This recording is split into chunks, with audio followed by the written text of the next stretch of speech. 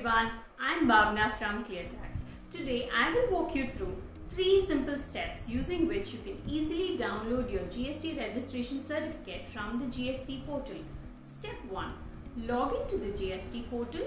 Step 2. Go to Services, choose User Services from the drop down menu and select View a Download Certificate. Step 3. Click on the download icon the GST registration certificate will comprise details regarding your business. On the first page, basic details such as name, address and date of registration will be displayed. On the second page, the Annexure A which comprises details of any additional place of business will be displayed on page 3 which is the Annexure B. It will comprise of information about the person who is in charge of business.